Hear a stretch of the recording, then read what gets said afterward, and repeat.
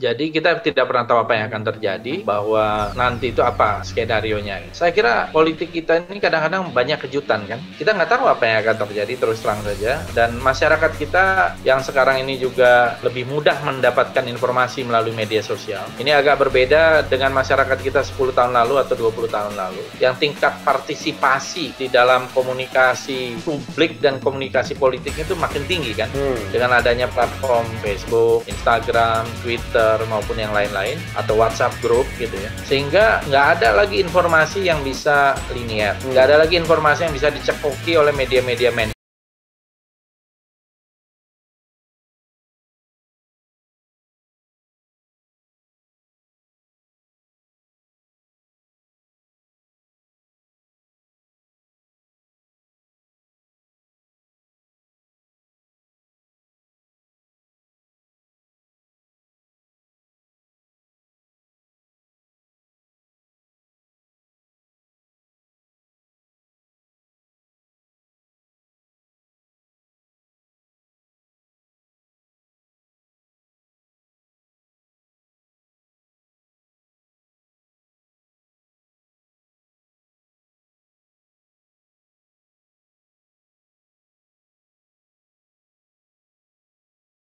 mengeluarkan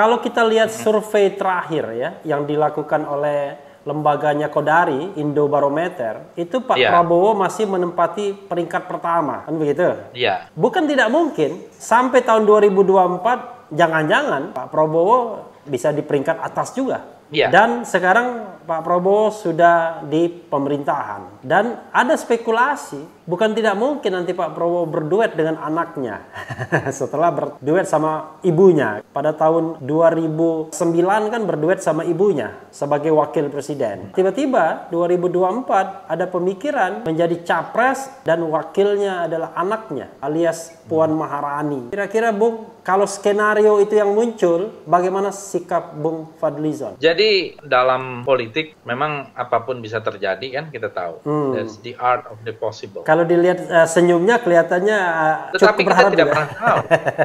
kita kita nggak bisa berandai-andai. Uh, tidak, karena ini kita menganggap bahwa ini sebuah skenario yang masuk akal. Kira-kira begitulah. Ya, tapi sejauh yang saya lihat ya, skenario sekarang ini masih terlalu mentah. Ini tahun 2020, 2024 itu masih empat tahun lagi, hmm. gitu ya. Jadi masih terlalu jauh lah. Kita bahkan nggak tahu apa yang terjadi minggu depan. Kita nggak tahu apa yang terjadi bulan depan. Bukan kita menjadi menjadi seorang fatalis gitu ya. Tetapi dengan pandemi global COVID dan seperti ini, kita nggak pernah tahu apa yang akan terjadi. Saya kira pasca COVID ini kita akan mempunyai sebuah dunia baru gitu ya. Yang juga mengubah politik kita, mudah-mudahan kita lihat gitu. Nah, mengenai skenario-skenario itu kalau di kalangan politisi kan biasa. Bicara yeah. ya, tentang Pak Prabowo akan maju lagi. Jadi kita tidak pernah tahu apa yang akan terjadi, bahwa nanti itu apa skenario-nya. Gitu. Saya kira politik kita ini kadang-kadang banyak kejutan kan. Hmm. Siapa yang memperkirakan bahwa bahwa dari Bung Karno kok akan tiba kepada Pak Harto. Yeah. Dari Pak Harto kemudian ke Pak Habibie. Hmm. Juga banyak yang tidak memperkirakan. Banyak bacaan lain. Dari Habibie ke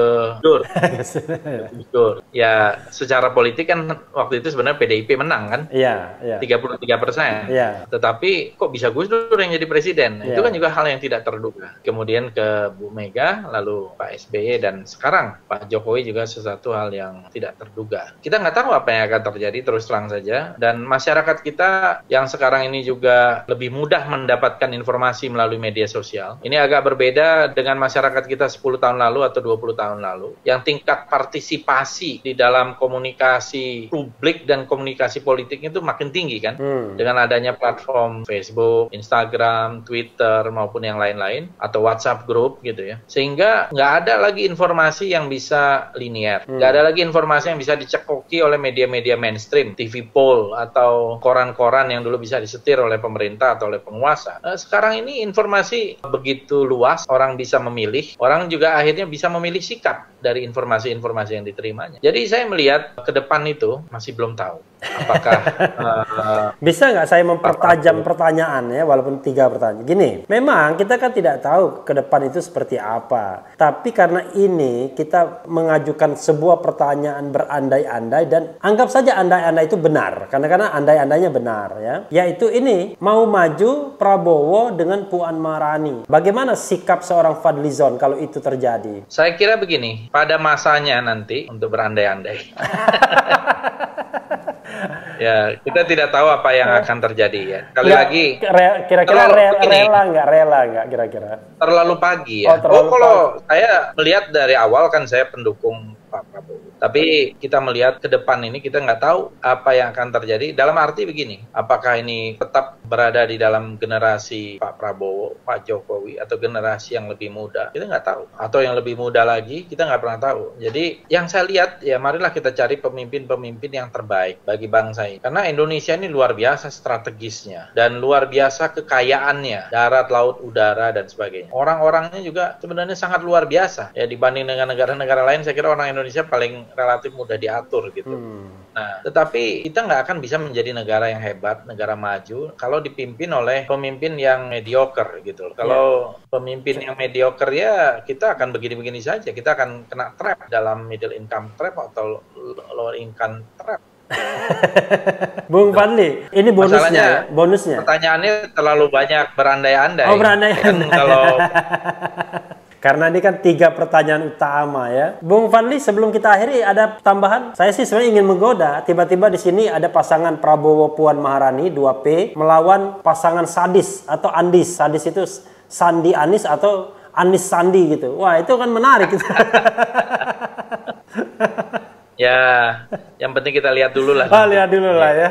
Ya, ya kan kita belum tahu eh. uh, apa yang akan terjadi. Ah, Saya melihat pembicaraan ini kurang etis. Oh, kurang etis ya. Pandemi global. Oh, okay. Pandemi global COVID. Oke, okay. nanti kita akan bicara pandemi ke global uh, eh, COVID-19 ya. Bung Fadli, terima kasih banyak ya. Terima kasih, Bung Fadli.